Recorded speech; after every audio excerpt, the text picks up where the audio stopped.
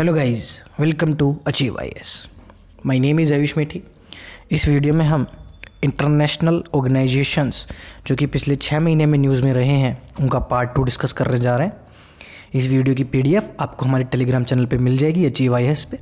लेकिन पीडीएफ में जितना कंटेंट होगा, वो इस वीडियो का केवल दस परसेंट होगा। क्योंकि मैं इस वीडियो में आपको ना केवल फिल्म्स के परस्पेक्टिव से, बल्कि मेंस का परस्पेक्टिव से भी आपको ऑर्गेनाइजेशंस कवर करवाऊँगा।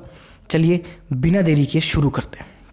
बात करते हैं U N R W A U N R W A Q news में? 2019 में इंडिया ने 5 मिलियन डॉलर्स कंट्रीब्यूट करने का फैसला किया है इस एजेंसी को। इसका फुल फॉर्म है United Nations relief and works agency for Palestine refugees in the Near East 2016 में ये बजट हमारा जो हम इसको देते थे 1.25 मिलियन डॉलर्स था। 2018 में 5 मिलियन डॉलर्स हमने कर दिया। है, काफ़ी अच्छी बात है। रिलीफ और ह्यूमन डेवलपमेंट एजेंसी है दो 1949 में आई थी।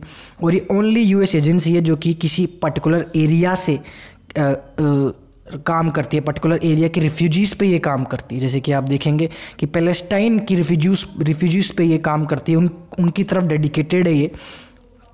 और U N H C R human rights human commission जो राइट्स वाला है यूएन का, उससे काफ़ी सेपरेट है ये। यू एन एच आर से काफ़ी सेपरेट है ये, है ना? और ये एजेंसी वैसे इसके ऑपरेशंस 1950 में स्टार्ट हुए थे और एस्टेब्लिश 1949 में हो गई थी बेसिकली ज़रूरत क्या पड़ी थी इसकी? 1948 में अरब इसराइली कॉन्फ्लिक्ट हुआ था, उसके बाद से UN, United Nation general assembly ने इसको इस्टेब्लिश किया कि रिलीफ वर्क्स और जो डायरेक्ट रिलीफ है जो प्रोवाइड करवाई जाएँगी। बेसिकली फंडिंग कहाँ से आती है? फंडिंग आपने देखा जिस तरीके से इंडिया ने प्लेज किया कि पाँच मिलियन डॉलर्स हम इसको देंगे, वैसे और भी कंट्रीब्यूशंस आते रहते हैं वॉल्ट्री यूएन मेंबर स्टेट्स की तरफ़ से और कभी कभी यूनाइटेड नेशंस के रेगुलर बजट की तरफ़ से भी आ जाते हैं। जो कि स्टाफिंग कोस्ट में काम आते हैं, जो कि स्टाफ वगैरह डिप्लॉय करने में काम आते हैं।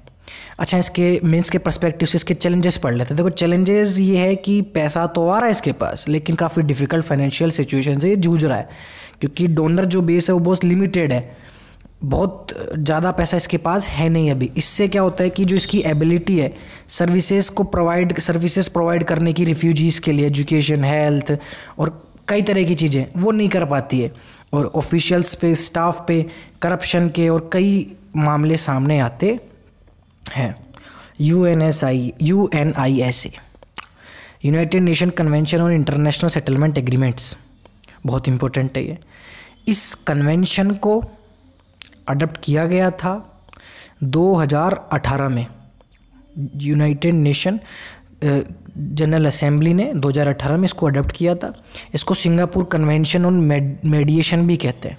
Singapore convention on mediation basically क्या काम होता है? जैसे हमारे फॉरेन जो इन्वेस्टर्स होते हैं, जो हमारे देश में इन्वेस्ट करते हैं, अगर वो डिस्प्यूट में किसी में फंस जाते हैं या कोई डिस्प्यूट निकल के आता है तो एक कन्वेंशन हेल्प करता है उनकी मीडिएटेशन करता है, ठीक है? उनकी नहीं करता, बीच में आप कह सकते हैं इंटरमीडियरी बन के आता है डिस्प्यूट सोल्व करने के लिए।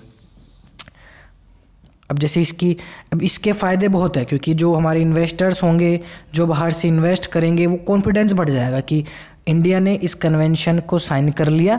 इससे हमारा जो पैसा है वो सिक्योर रहेगा और कोई डिस्प्यूट में अगर फंस जाएँगे तो ढंग से जो है उसका रिजोल्यूशन, उसका निपटारा हो जाएगा। अब ये ज़रूरी है अल्टरनेटिव डिस्प्यूट रिजोल्यूशन जो हमारा चल रहा है वो भी उसके हिसाब से बिल्कुल ये सही चीज़ है।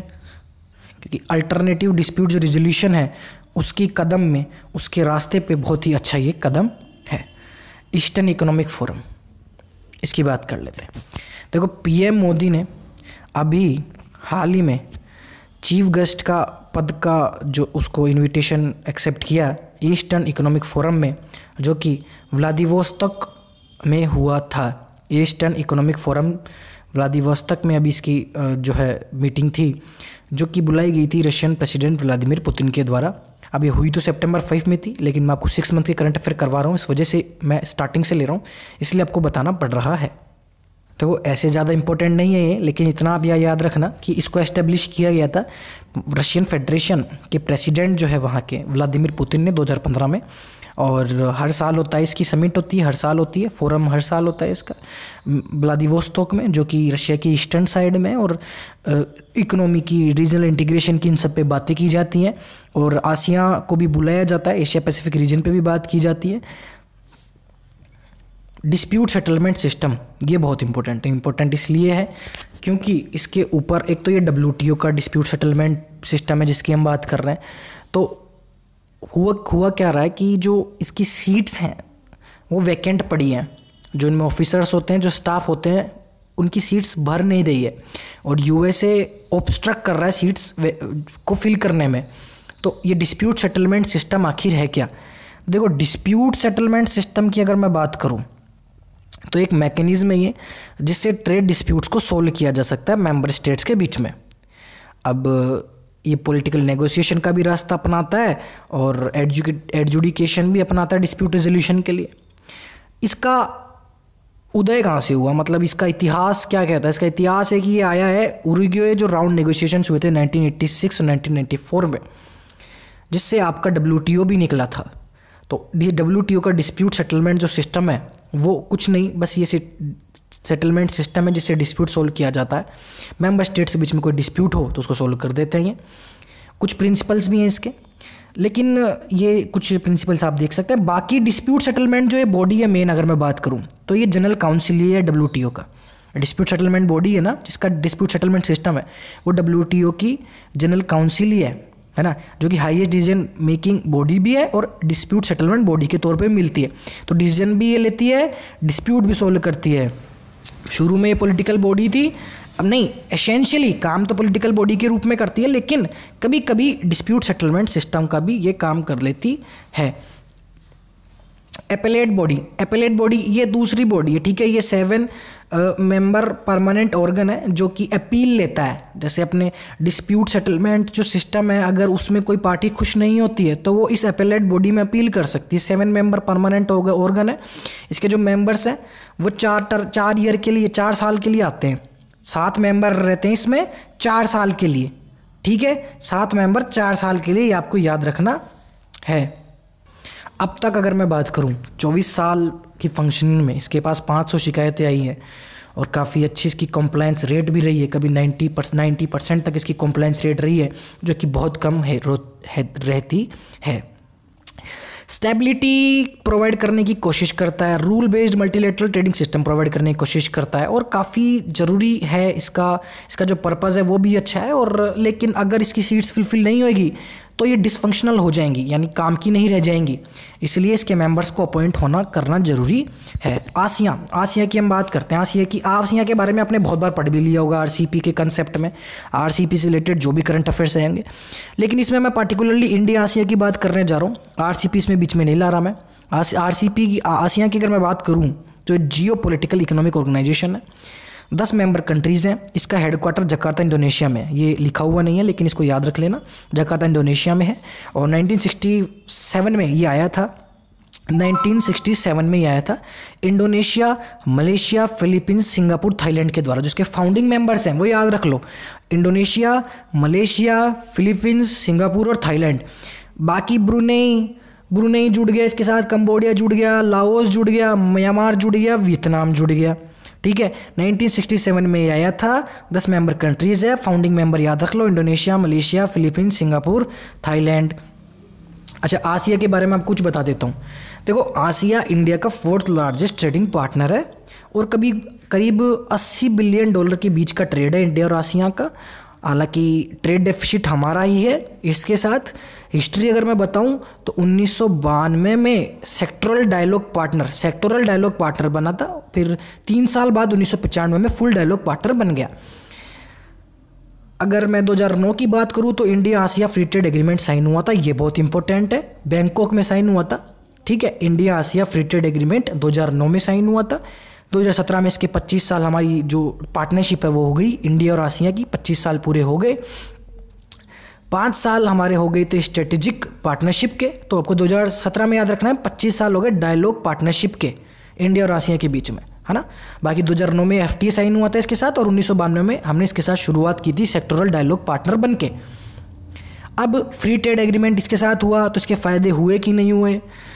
देखो फ्री ट्रेड एग्रीमेंट हमने किया 2009 में था। उसके पॉजिटिव इम्पैक्ट्स निकल के तो आए, क्योंकि हमने थाईलैंड, कम्बोडिया और वियतनाम जैसी कंट्रीज़ में काफ़ी ज़्यादा एक्सपोर्ट करने की कोशिश की और एक्सपोर्ट भी हमारे बढ़े।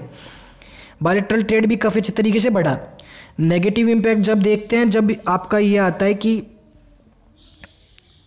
जो ट्रेड डेफिसिट है वो काफ़ी ज़्यादा है और हमारी इंडिया की मैन्युफैक्चरिंग है, उसको भी काफ़ी एडवर्सली इम्पैक्ट हुआ इससे। इसलिए इंडिया अब इंडिया एक तरफ़ तो माइक इन इंडिया कंपेन चला के जॉब जनरेट करने की कोशिश कर रही है, लेकिन आसिया की वजह से हमारी मैन्युफैक्चरिंग में काफ़ी ज़्यादा लॉस हुआ है और ट्रेड डेफिसिट है ही तो ये आपको समझना पड़ेगा। बाकी इसकी जो पोटेंशियल है हमारे और आसिया के बीच की, काफ़ी ज़्यादा हमारे टाइस की पोटेंशियल काफ़ी ज़्यादा है। आसिया की हमने बात कर ली, बात करते हैं क्वाड की। देखो क्वाड क्वाड बेसिकली ये फ्री और इंडो ओपन इंडो पैसिफिक को की बात करता है। कि फ्री हो इंडो पैसिफिक ओपन हो, इसको प्रमोट करने की कोशिश करता है क्वाड हाल ही में इसका डायलॉग भी हुआ था। अब क्वाड की मैं बात करूँ तो ये इनफॉर्मल है ग्रुप फॉर्मल नहीं है, ये चीज़ आपको याद रखनी है। हालाँकि फॉर्मलिटी की तरफ़ ये बढ़ता जा रहा है। फॉर्मलाइज्ड होता जा रहा है United States Japan Australia India के बीच में। ये एक ग्रुपिंग है, ठीक है? अब क्वाड जो है, अगर आप देखें तो ये स्टार्ट तो ऐसे तो 2004 पाँच में हो गया था, लेकिन डायलॉग पूरी तरीके से इनिशिएट करने वाले थे। जापान के शिंजो आबे 2007 में इन्होंने शुरू किया था, और, फिर 2017 में पूरी तरीके से ये रिवाइव हो गया। था। एशिया समी, आसियान जो समिट्स हुई थी, इनमें जो चार मेंबर्स थे, इन्होंने इसको रिज्वाइन कर लिया। कुल मिला के अगर आप देखें तो 2007 में डायलॉग शुरू हुआ था, अच्छी तरीके से। और कंट्रीज़ का नाम याद रखिए आप। अब मेंस के परस्पेक्टिव से इसकी सिग्निफिकेंस क्या है? देखो इंडो पैसिफिक जो रीजन है, उसमें अगर चाइना जिस तरीके से राइज कर रहा है इंडियन ओशियन देख लो इंडो पैसिफिक अगर पूरा रीजन आप देखो तो क्वाड की इंपॉर्टेंस बढ़ती जा रही है। और अभी सोलेमन आइसलैंड्स में भी आपने देखा कि चाइना ने एक आइसलैंड को ले लिया। तुलगी आइसलैंड नाम था कुछ इसका। जहाँ तक मुझे याद है तो ऑस्ट्रेलिया को भी इससे काफ़ी ज़्यादा खतरा महसूस होता है। तो इंडिया को इंडियन ओशन की वजह से होता है, ऑस्ट्रेलिया को ऑस्ट्रेलिया की वजह से होता है, जापान को तो होता ही और यूनाइटेड स्टेट्स के लिए चाइना तो खतरा ही। तो हम चारों का एक कॉमन ऑब्जेक्टिव ही हो सकता है कि हम चाइना को कंटेन करके रख सकते हैं। दूसरी बात, एक जो चीज़ हम चारों को साथ में लेती है, दूसरी वो है लोकतंत्र डेमोक्रेसी हम चारों डेमोक्रेसी हैं, है ना? तो चारों इस तरीके से आगे बढ़ सकते हैं। और जो हमारी जो एक्सरसाइज होती है बायोलेटरल एक्सरसाइज मिलिट्री की, वो भी होती हैं। चाइना के लिए काउंटर करने के लिए ये बहुत तो एक अच्छी चीज़ है और काउंटर टेररिज्म पे भी हम काम कर सकते हैं। इंडिया इसका उपयोग ले सकता है टेररिज्म रोकने के लिए, पाकिस्तान को आइसोलेट करने के लिए। और इंडिया की इंपॉर्टेंस जो है as a net security provider वो बढ़ती जाएगी। इंडियन इंडो पैसिफिक ओशन की अगर मैं बात करूँ तो। तो सिग्निफिकेंस तो बहुत ज़्यादा है। इंडिया के लिए फ़ायदे भी बहुत ज़्यादा है। इंडिया प्लेटफॉर्म है इंडिया के लिए कि वो अपनी बातें रख सकता है, अपने एस्पिरेशंस रख सकता है। एक्ट ईस्ट पॉलिसी भी इंडिया की जो है आगे बढ़ेगी इससे। इंडो पैसिफिक में इंडिया का रोल भी काफ़ी ज़्यादा बढ़ता जाएगा और इंडिया आराम से चाइना को कई सेक्टर्स में काउंटर कर सकता है। ठीक है, जो एक्सपिनिस्ट जो पॉलिसीज़ चाइना की चल रही हैं, उनको काउंटर कर सकता है। और अफगान पीस प्रोसेस जैसी प्रोसेस में हमारी इंपॉर्टेंस भी बढ़ती जाएगी। चैलेंज तो चाइना का है। मतलब हम, हमने हमने देखा कि क्वाड का सिग्निफिकेंस इंडिया के लिए भी अच्छा है, चारों मेंबर के लिए भी अच्छा है। लेकिन चैलेंज ये कि इंडिया फॉर्मली ये नहीं कहता कि हम चाइना के खिलाफ ये ग्रुप बना रखे जो डायलॉग है चाइना के खिलाफ है, कभी नहीं कहता। हमारे कहने का मतलब ये होता है कि क्वाड हम केवल ठीक है, एक प्लेटफॉर्म में बात, जो व्यूज़ हैं, अपने रख लेते हैं। चाइना को आइसोलेट करने की कोशिश नहीं कर रहे हैं। ऐसा सामने इंडिया कह देता है, क्योंकि वो चाहता भी नहीं है ना हम चाइना को आइसोलेट करें, क्योंकि चाइना से हमारी बाउंड्री है। चाइना को हम ऐसे नाराज़ कर नहीं सकते। और इंडिया की हिस्ट्री भी यही है कि हम नॉन अलाइनमेंट की प्रोसेस अपनाती है तो अगर क्वाड को हम सिक्योरिटी अलायंस बना दे क्वाड से अगर मैं और दूसरी कंट्रीज़ को आइसोलेट करने की कोशिश करने लग जाएँ तो एक तरीके से नॉन अलाइनमेंट की पॉलिसी पे ये चोट हो गई ना। दूसरी बात, ये वर्क इन प्रोग्रेस चीज़ है ये। मतलब अभी इस पर कोई प्रायोरिटीज़ इनकी सेट नहीं है अभी, कि क्या प्रायोरिटीज़ हैं। और हालाँकि धीरे धीरे एक नई डायमेंशन ये एक्वायर कर रहे हैं। तो इम्पोर्टेंस तो बहुत है इंडिया का फ्यूचर रोल भी काफ़ी ज़्यादा इसमें पोटेंशियल नज़र आ रहा है। तो देखते हैं, अब इंडो पैसिफिक बिज़नेस फोरम जो है, ऐसे इनिशिएटिव्स लिए जा सकते हैं और उनको एक्सपेंड किए जा सकते हैं। और इंडो पैसिफिक बैंक्स बैंक्स भी जो है, लाए जा सकते हैं। Indo Pacific infrastructure investment agency भी जो है, लाया जा सकता है। तो कई चीज़ें जो इंडिया कर सकता है।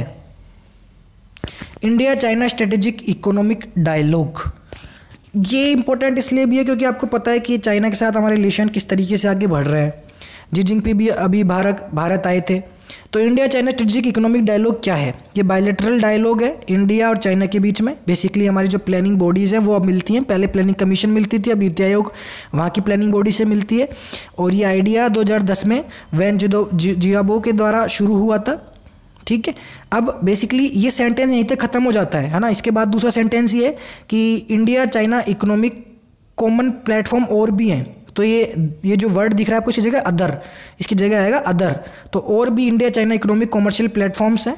जैसे कि आपका जॉइंट इकोनॉमिक ग्रुप हो गया तो ये ध्यान रखना, ये चीज़ अलग है। Indo joint Indo economic group ये आपका अलग अलग है, जो हमारे कॉमन मिनिस्ट्रीज़ कॉमर्स मिनिस्ट्रीज़ के द्वारा इसमें लीड की जाती है। तो एक तो ये अपना India China strategic economic dialogue जो कि हमारी प्लानिंग बॉडी दूसरी जॉइंट इकोनॉमिक ग्रुप जिसमें कौन आते हैं हमारे दोनों देशों के कॉमर्स मिनिस्टर्स दूसरा हमारा डेवलपमेंट रिसर्च सेंटर डायलॉग और फाइनेंशियल डायलॉग है, जो कि वहाँ हमारे तो इकोनॉमिक अफेयर्स की जो डिपार्टमेंट है, उसके सेक्रेटरी और वहाँ चाइना के मिनिस्टर ऑफ़ फाइनेंस के वाइस मिनिस्टर तो ये आपको इतना याद नहीं रखना, हालाँकि केवल मेंस के परस्पेक्टिव से कौन कौन से प्लेटफॉर्म्स हैं ये आप याद रख सकते हैं। बाकी ये इंडो चाइना जो स्ट्रेटेजिक इकोनॉमिक डायलॉग है 2010 में शुरू हुआ था, ये आपको याद रखना है। बाकी चाइना से अगर मैं बात करूँ तो देखो, हमने जो है चाइना के साथ फुल फ्लैश बायोलेट्रल ट्रेड उन्नीस सौ बानवे में ही अचीव किए। डबल टैक्सेशन एग्रीमेंट उन्नीस सौ चौरानवे में आया और 2003 में हमने एक दूसरे को ट्रेड प्रेफरेंस देने की शुरुआत कर दी बैंकॉक एग्रीमेंट के बैंकॉक एग्रीमेंट के ज़रिए। और एक टाइम था जब हमारी जीडीपी बहुत इक्वल थी 1980 नब्बे के दशक में जीडीपी इक्वल थी, लेकिन चाइना आज पाँच गुना ज़्यादा बढ़ा है हमसे। तो चाइना इंडिया चाइना की इकोनॉमिक रिलेशंस की मैं बात करूँ तो चाइना इंडिया का लार्जेस्ट ट्रेडिंग पार्टनर है। हालाँकि डेफिसिट करीब 50 बिलियन डॉलर का है हमारा चाइना के साथ। इन्वेस्टमेंट चाइना हमारा अच्छे तरीके से कर रहा है। 2014 में अनाउंस किया था चाइना ने कि पाँच सालों में आने वाले 20 बिलियन डॉलर का हमारे इन्वेस्टमेंट करेगा चाइना। इन्वेस्ट इंडस्ट्रियल पार्क्स बनाएगा, है ना? अब इससे इंडिया की मैन्युफैक्चरिंग कैपेबिलिटी बढ़ेगी ट्रेड डेफिसिट हमारा घटेगा और काफ़ी चीज़ें, हमारे स्टार्टअप्स के लिए काफ़ी अच्छी चीज़ होगी। और चाइना के बैंक्स के ब्रांचेस भी हमारे देश में खुल रहे हैं और हैं। तो इकोनॉमिक रिलेशन अच्छा है। एफडीआई भी चाइना अच्छा जो अच्छे तरीके से करता आ रहा है।